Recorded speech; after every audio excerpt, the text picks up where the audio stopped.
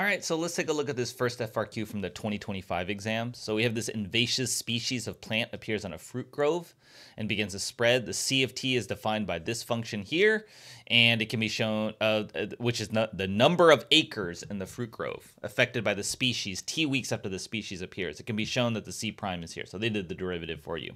Find the average number of acres affected by these species. So how do we do average value is 1 over b minus a the integral from a to b of whatever you are finding the average value of. And we are trying the average value number of acres. What's number of acres? C of t. So that's going to be 1 over, the interval width is 4 minus 0, integral from 0 to 4 of c of t dt. Okay, and that's all you have to write. And then we'll go to Desmos, and then we'll just say, I'm going to, for this problem, I'm just going to write it out. 7.6 arctan of 0.2 t and, you know, they did remind you that it should be in radian mode. And you can always just check on here that we are indeed in radians. So that is C of t. And I want to do the integral from 0 to 4 of C of t dt. And so that's going to give me, let's just leave this up here. That's going to be 1.113, three decimal places, and then number of acres, and then we just say acres. Okay. Uh, oh, sorry, I'm supposed to divide by 4. I don't know why I didn't do the 1 divided by 4 over 4. So 2 point... Sorry? This is the nice thing about Desmos. I can look at here and look here, just make sure I typed everything incorrectly. 2.778 acres. So that is part A. All right, B. Find the time when the instantaneous rate of change equals the average rate of change over the interval. So what's average rate of change? So that's where C prime of t, that's the instantaneous rate of change, is going to be equal to the average rate of change. Like this. And so, um, I mean, there's a couple of ways you can do this. You can just compute. You can you can do c prime of t. Uh, let's see. Can you do y equals c prime of t? So we're going to plot that, and then we're also going to compute y equals. So let's not hide c of t. Let's just do this fraction. c of 4 minus c of 0 over 4 minus 0. And then we just want to see where they intersect. Intersect on the left side, but we really only care about the time t greater than 0. Times that starts at 0, so you only want the positive one here. So that's going to be, and that occurs at t is equal to 2.154. And don't forget the units, the time. Let's see, time is 0. Do they give you units for time? Um, t weeks. Weeks. Okay, you probably don't have to put the units. If they don't say units in there, um, that's that's okay. You, it's probably okay to leave out the units, but I, I always encourage students to leave the units in there.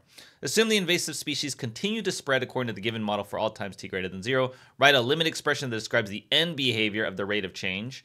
End behavior of the rate of change. So that's the limit as t goes to infinity of not not the limit of c of t, the limit of c prime of t. The rate of change is c prime. End behavior of c prime of t, which would be the limit as t goes to infinity of 38 over 25 plus t squared, and that's going to go to 0 because it's going to be 38 divided by a huge number because t squared is going to be a giant number. 38 divided by a giant number is going to be 0. So evaluate the limit expression. Okay, cool. Part D. At time t equals four weeks after the invasive species appear in the fruit grove, measures are taken to counter the spread of the species. The function a, defined by this, models the number of acres affected by the species over the interval. At what time does a obtain its maximum value? So what is this? This is an absolute max, right? So the absolute max is a candidate's test. So we want to first find where the derivative is zero or undefined. So let's look at a prime of t. You could put this into the function and just kind of have the calculator do it. And so let me show you how you can do that. Or you could take the derivative. I'll show you both ways.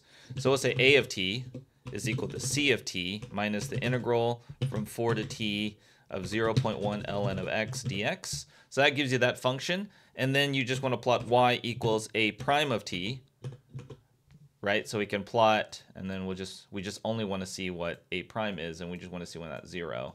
If you click there, okay, and so that would occur at t is equal to 11.442. That's the only time that that occurs. If you did the derivative by hand, you could also say a prime of t is equal to c prime of t, and you may you may they may have a point to show that so i would recommend you you do this and what, what do you do when you take the derivative and the parameters in the expression that's the second part of our fundamental theorem of calculus you're just going to plug in ln of t like this. And so you can also plot that just to confirm it's the same thing. So if I do y equals c prime of t minus 0.1 ln of t, you'll see you get the same thing because they're just sitting on top of each other, right?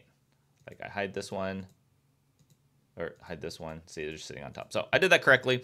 So that's the t. And then what do we uh, also do on the candidates test is now we want to evaluate the function at the endpoints of the interval. And the endpoints of the interval are 4 and 36, and also at our critical point, right? So then what's nice is I have an expression here. I can just do a of 4. That's going to be 5.128 then do a of 36. That's going to be 1.743. And then finally do a of 111.44. What, what did we say that number was? I didn't write down all the decimal. 4417. And so that's going to give you 7.317. And so this is the max. And so they're asking at what time does it attain its maximum value? And so that occurs at t is equal to 11.441 weeks. Like that. And that is an interval, and that's how you do the first FRQ.